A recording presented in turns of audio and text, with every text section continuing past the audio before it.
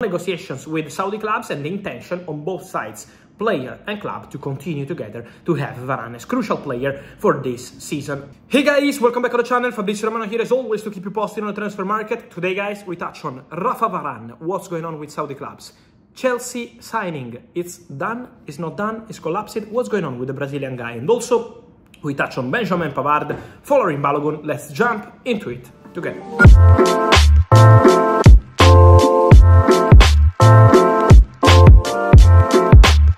And so guys, let me start today's video by mentioning the situation of Rafa Varane, because in the last 24 hours we had rumors for Gabriel Magalhaes and uh, Al Ittihad, uh, and I told you in a video yesterday night, no chance. For Arsenal, Gabriel Magalhaes is untouchable and he's staying at the club. So Gabriel is not going to Saudi. But then we had also rumors about Rafael Varane and the possibility to move to the Saudi league. From what I'm hearing, guys, I was checking on all sides, club and player side, the feeling is very clear. Varane will stay at Manchester United, wants to stay at Manchester United, is crucial player for Erik Ten Hag, who always considered uh, Varane and Lisandro Martinez as the starters of the team, and of course Victor Lindelof, who is doing excellent, uh, and despite link with Rennes around, nothing took place in terms of negotiations, and also for Ten Hag is crucial player. So these three are untouchable for Maguire. In case they receive 30 million pounds, the player remains available on the market, but we know that the deal with West Ham collapsed. So for Rafa Varane, no negotiations with Saudi clubs and the intention on both sides,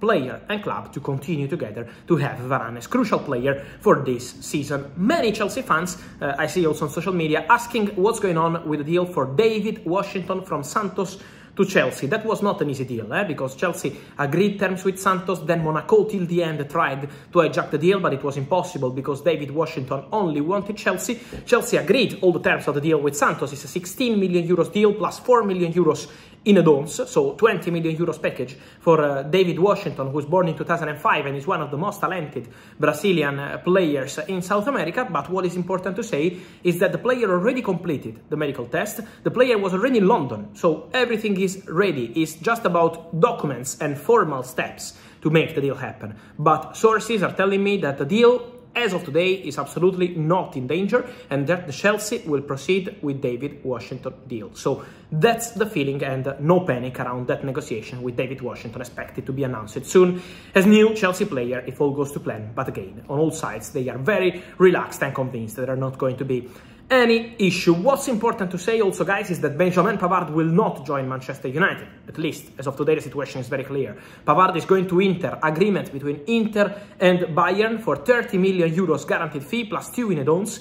So Inter and Bayern have everything ready. The player has the agreement ready with Inter. Medical test will be booked soon. What is needed is for Bayern to find a replacement. So let's wait for that step of the story and then Pavard will be able to join Inter. He was close to Man United. He wanted Man United, but for Man United, uh, with Maguire staying, it's impossible to proceed for Benjamin Pavard uh, due to technical reasons, but also to the financial fair play. And then let me finish this video by mentioning Folarin Balogun, guys. I have many questions about Chelsea, and the reality from what I heard is that Chelsea last week, during the conversations they had for uh, Romeo Lavia, multiple conversations with the same agents, they had conversations also about Balogun. It's like being informed, but let me clarify that this is something very normal in football. If you meet with an agent to close a deal or to negotiate a deal, if he has other clients or other players, it's very normal to discuss about other players' situation, cost of the deals, is something absolutely regular. At the moment, there is not a concrete negotiation or a concrete bid for Chelsea to Arsenal. So let's see what's going to happen. Chelsea asked about the situation of Balogun,